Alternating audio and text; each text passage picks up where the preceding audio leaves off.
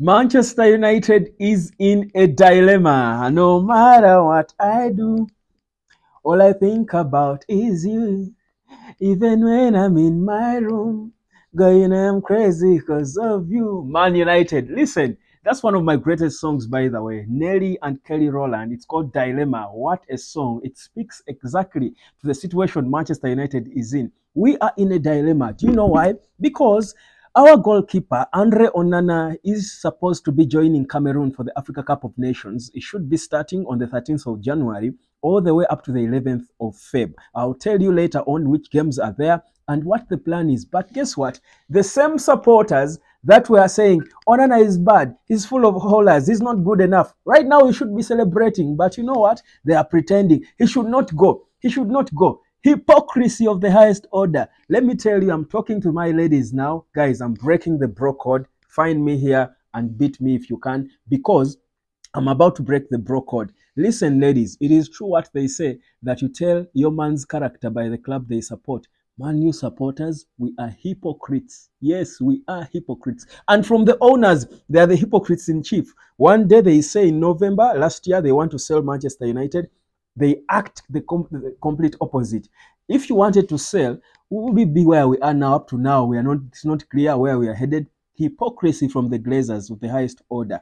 Bring it down to the manager. One day he's attacking certain players uh, for not acting mature and what, what, what. The next day they are there and they are being praised. That's hypocrisy as well. When it comes to the the the, the, the legends of the club, that years a year ago, barely a year ago, Gary Neville, Rio Ferdinand were all praising Mason Greenwood as the hottest thing in the world of football, the next future star. Right now, he's being a star.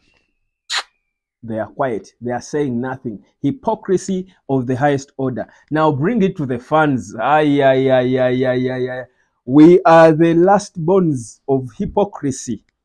Because, I mean, one day you're abusing Onana for making so many holers. Uh, what he's not good enough. De Gea should be back.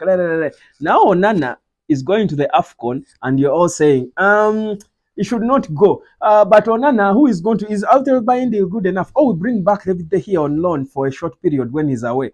Guys, come on, choose a struggle, choose where you fall. Don't be hypocrites like that. But anyway, it's okay. I'm one of them. I'm one of them, to be honest.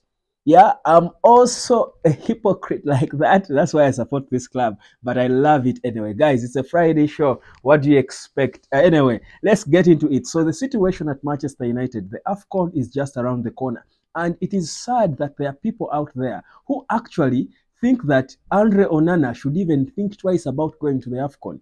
Well, are you insane? If it were Kobbie Mainoo and England had called him up and there was, and and of course it wouldn't happen, but uh, because because obviously they don't respect the Afcon. But uh, the Afcon cannot, the, the Premier League cannot continue when the Euros, for example, are going on. Can it? It can't. But anyway, because it's the Afcon, and yeah, it's okay. They are the big guys and the you know small guys. We we, we accept our position as Africans. I mean, we are not up there. We are not as important. But I think it's disrespectful for people to even think that Andre Onana should think twice about going to represent his country at the biggest football competition in his co continent, in his motherland. Now, people are suggesting, should he go or he should, should not go? He should not go. If it were Kobbie Mainoo and England had called him up and, you know, in the weirdest dreams, there is a competition that England is going to be playing in, Kobbie Mainoo is wanted, and Manu is also playing. Would someone be saying he should not go to represent his country? Would anyone be starting that conversation? Guys, come on, let the guy go represent his country. It's an honor that you cannot pay 120,000 pounds for. It's not about the money. It's his country, guys. It's his country. Naturally, you are honored if you're going to represent your country. It's what we work for. It's more important than playing against Wolves in the Premier League. Yes, it is. So, Onana to AFCON, that's done. No debates about it, unless he's not summoned. But Let's go back now to who will come in. There are reports suggesting now that Man United could go for a short loan move for the jobless David De Gea. You know, the reality is David De Gea left, but he didn't leave because, to be honest, I think he didn't expect that he would be treated the way he was, and he's still in shock. He has not recovered. Mr. David De Gea, the married man, he has not recovered because how is it that up to now De Gea, 32, does not have a club. Well, I know he has got a lot of money. I mean, he was our topmost earner by the time he left, but he's still there. You see him around Old Trafford. He's there. I think he's hoping that it doesn't go well for Onana and he returns. So now, if he comes in on loan, and of course for footballing reasons, uh, for footballing reasons, if Altay Bayındır is not good enough, that's an option. David here is an option, and people are actually pushing for that option. For me, I think it's uh, again, it's non-progressive. I think we should think beyond David here. Let the guy move on. Let him rest. He was disrespected by the club. and we don't care whether he's okay. He's cool with how he was, he was disrespected. Uh, disrespected. We love him as a legend. He shouldn't return. We moved on from De Gea. So Onana should go to his AFCON. This is the opportunity for Altay Bayındır. Manchester United has always been known to have good second choice goalkeepers. Our second choice goalkeepers are not always far off the first choice goalkeepers. You can remember David De Gea's assistant uh, back then, Sergio Romero, for the longest time. Romero, when, when he came into goal, many were saying he should be starting ahead of De Gea. So even Bayındır is good enough. So I think the right thing to do is give Bayındır a chance. I mean, look at the games we have. Those are the fixtures we have in January. I told you the Africa Cup of Nations starts on the uh, 13th of January. But the January fixtures for United look like this. These are the fixtures. Uh, we've got Wigan, uh, that is in the FA Cup. Uh, we've got uh, Wigan away. Uh, then on the 14th of January, we've got Tottenham Hotspurs. That is at home at Old Trafford. That's the only Premier League game we've got in Jan. That's on the 14th, the second day of the league. So by that time, obviously, Onana will be away. He could be available for, for the Wigan game, but of course, I think at the start of the year, he should just go and join his team. So even if Bayındır was the goalkeeper for the two games. What's the worst that can happen? He's not that bad. Have you even seen him to know whether he's bad or not? So for me, I think he's unable uh, goalkeeper. Then in February, because it goes on until the 11th of Feb. So in February, uh, we've got West Ham. That's on the 4th, and on the, uh, that's at home. Then on the 11th, we play Aston Villa. That's away. That's the day.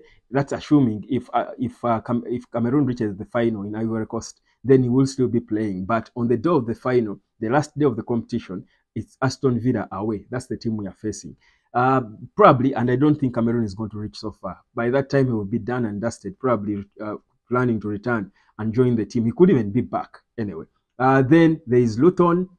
Maybe if they, they, they choose to let him rest after the AFCON, uh, he can rest off uh, until the end of Feb. So we've got Luton away and Fulham. Really, really, really, really, guys, should be should we be here panting and crying and wobbling over Nana not being there. After all, you all hypocrites, we hypocrites have not been thinking, have not been, we felt she was not good enough. And of course, there is also this theory uh, flying around that Onana should stay and fight and keep his place because Bayındır could overtake him.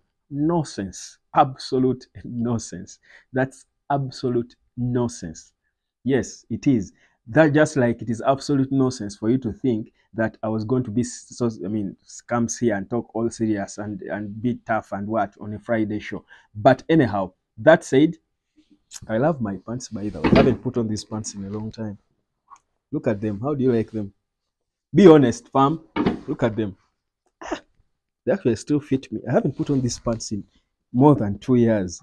I love them. I should I, I should keep putting them on more. Anyhow, that's how Man United looks. But in terms of the whole De Gea talk, uh, I mean, that's garbage. No De Gea back at United.